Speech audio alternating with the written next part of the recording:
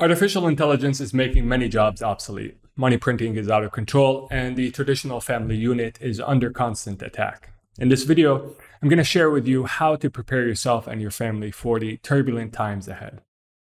Every civilization experiences cycles of success and decline. Allah subhanahu wa ta'ala says, وَتِلْكَ الْأَيَّامُ نُدَاوِلُهَا بَيْنَ النَّاسِ We alternate the days between the people. It's pretty clear that the West is no longer as dominant as they once were. Western civilization is struggling to deal with the consequences of a breakdown in the traditional family unit and a monetary system that has seemingly reached a dead end or is very close to doing so. Debt in the US has now surpassed $31 trillion. The ratio of government debt to US GDP is now at its highest level in recorded history.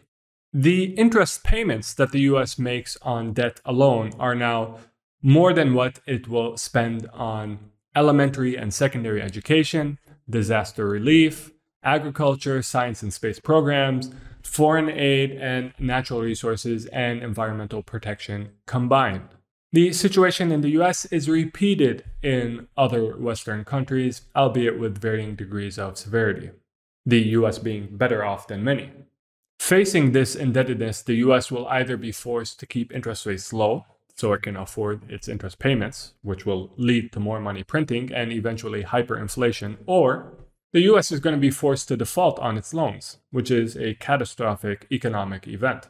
That said, Western countries still maintain some undeniable points of strength, including a strong ability to attract talent from all around the world and their robust political systems.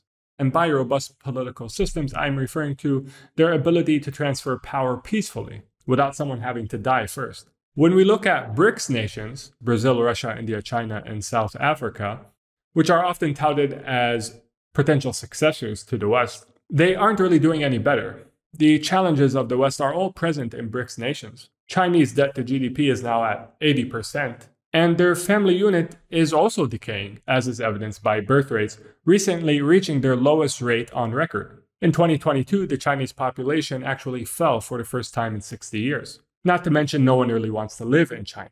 Chinese people don't want to live in China. As a consequence, they are unable to attract global talent like the West is. Chinese leaders are above questioning and criticism, which makes them vulnerable and indeed destined to make serious errors in judgment that will eventually devastate their country.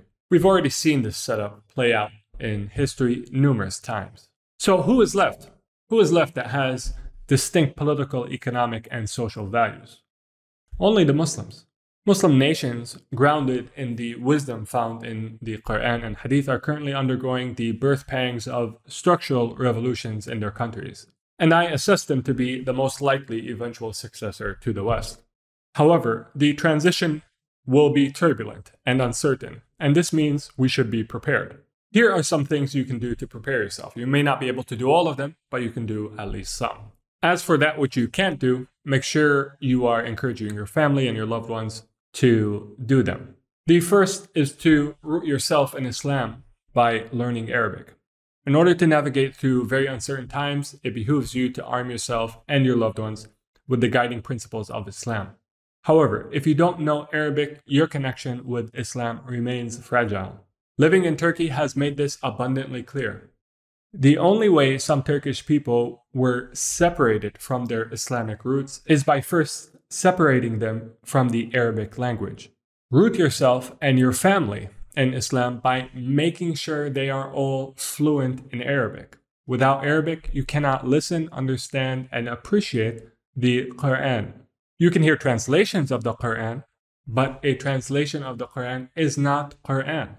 When I'm sitting in Jum'ah khutbah here in Turkey and the Sheikh mentions a profound ayah in Arabic or a hadith, and then follows it with a Turkish translation, I can tell that a great deal of the meaning was lost in translation.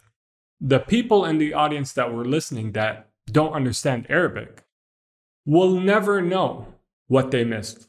What's worse is that they don't even know that they missed something. To navigate the complexities of the road ahead, you need the teachings of the Quran and Sunnah, and to fully appreciate these teachings, you need to understand Arabic. My second piece of advice is don't build on shaky ground.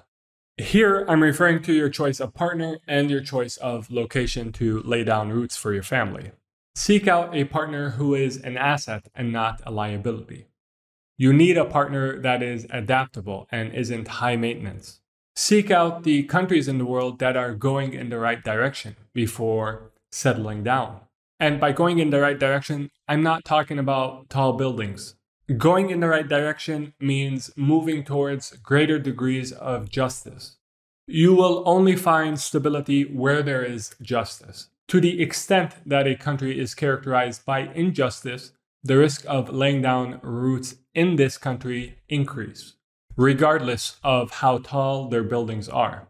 Eventually, this injustice will catch up with them and it will be removed, and there is a risk that you lose everything that you built in that country.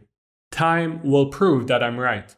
My third piece of advice is develop your ability to make money independently from anywhere. Things are moving rapidly, and so is the rate at which jobs are changing and others are becoming obsolete.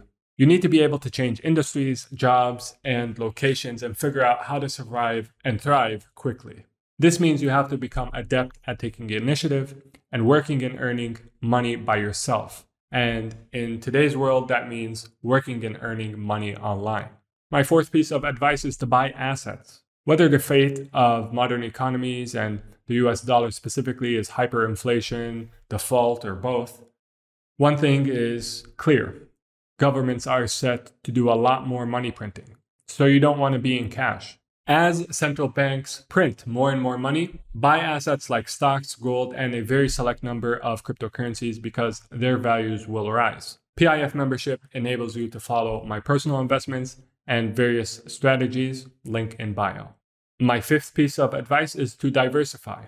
In uncertain times, you need to make sure that you have a well diversified portfolio. You can't be country specific, sector specific, or asset specific. Aside from the obvious political and macroeconomic instability, we live in an age where progress is moving at its fastest rate ever, and relevant value propositions today will become obsolete tomorrow.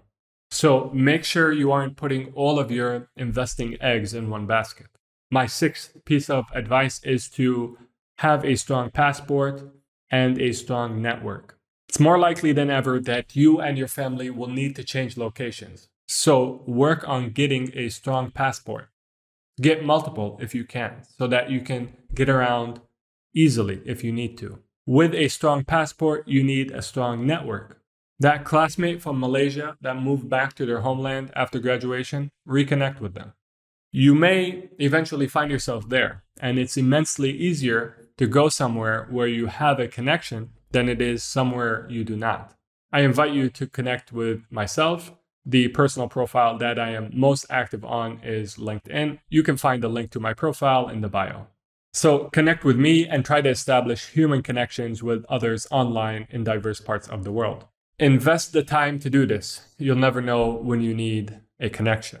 I don't mean to alarm you, just to prepare you. In truth, I am an eternal long term optimist, but a short term realist.